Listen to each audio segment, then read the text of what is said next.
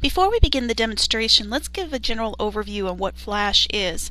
Flash is a multimedia platform commonly used for animation, video, and rich internet applications. Typically, files that were created in Flash have an SWF extension.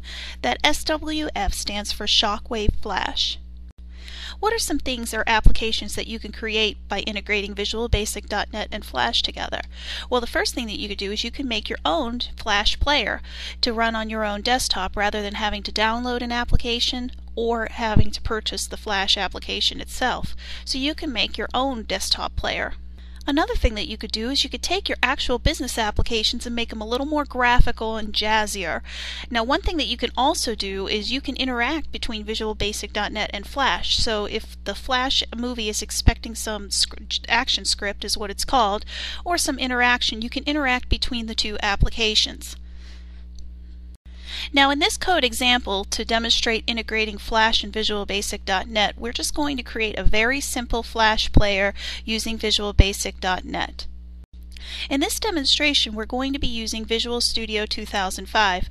However, the steps that you see in this demonstration on 2005 will also work if you are using Visual Studio 2008. The steps will work exactly as demonstrated.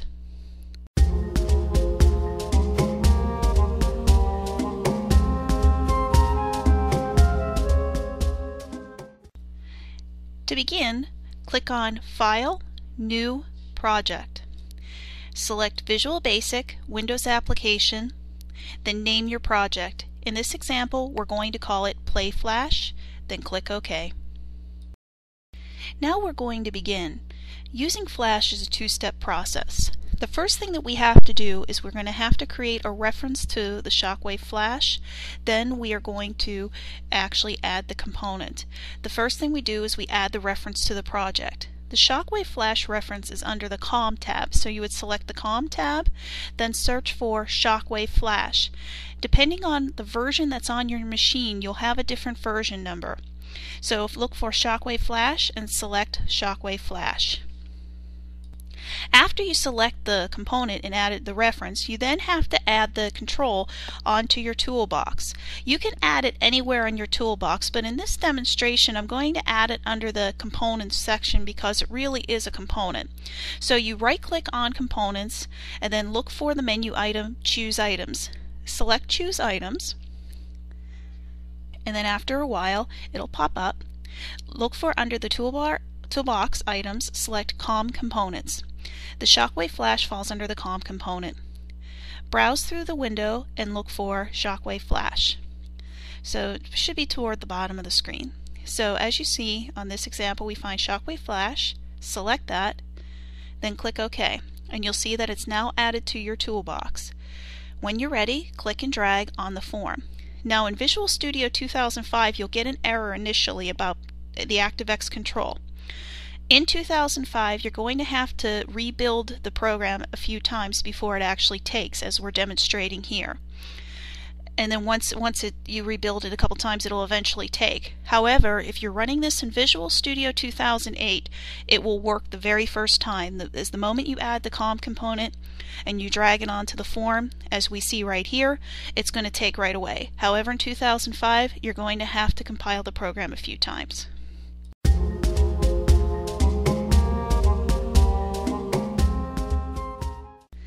Once you add the control, what we're going to do since we're demonstrating a player, we're going to add some buttons.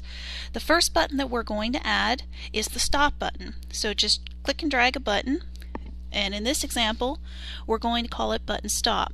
Now also in this example we're going to make it a little look more like a player rather than words. So rather than write a word on there we're going to look for an image that we have here that's going to, to illustrate the stop. Usually it's the square and we're going to put the square on that button. We're going to remove the text and then resize it as we have here.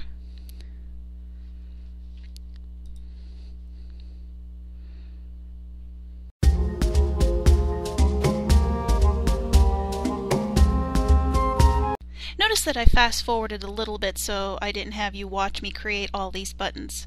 But the same process applied. I added a, diff a different button, one for play, one for rewind, and one for fast forward. And I followed the same process where I imported an image and also changed the text. Now also for naming purposes I also renamed the shockwave control on the form. In this illustration, I'm going to, rather than import a file in, I'm going to reference a file that already exists. So what I'm demonstrating here is in my bin directory, and since I'm running in debug mode, I have it in debug, I put a Shockwave Flash file in that directory so I don't have to be specific. And I'm going to use banner. So then after the banner, I'm going to code the play button first. So what we're going to do first is I'm going to use a with end with loop to act, act for my control. So, because I have a couple functions that I'm going to call. So when we're using the shockwave control, I'm going to do a stop first to make sure that everything is clear. Then I'm going to import the movie. So the movie class is equal to wherever that file is. So that's how you would import a movie. Then finally, I'm going to play it. Now I'm going to code for the stop button. So what I'm going to do is once the user clicks the stop button, I'm going to call the stop function of the Shockwave Flash object to stop it. Now here's a demonstration. So I play, pl press the play, it plays the movie. Then when I click stop, it stops.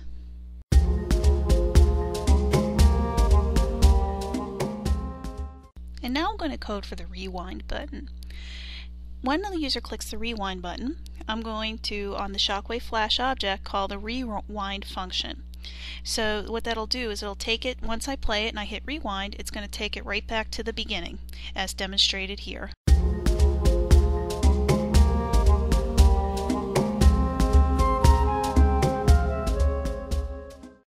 Finally, I'm going to code for the fast forward button. So when the user clicks the fast forward button, I'm going to call the forward function of the Shockwave Flash object. So when they click, it's going to move it all the way forward. So as you can see here, as demonstrated, here's how it works.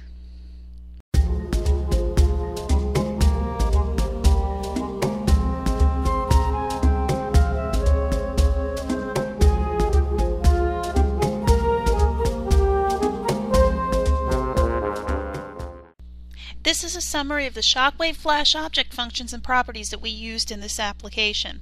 We used the stop, which stops the movie. We used the play, which plays the movie. We used rewind, which rewinds the movie to the beginning. We used forward, which forwards the movie to the end. And finally, we used the movie property, which actually sets the name of the file to play. And of course, if you have any questions, please visit my blog and leave a comment on the post and I will answer the question to the best of my ability. I hope you enjoyed the film. Goodbye.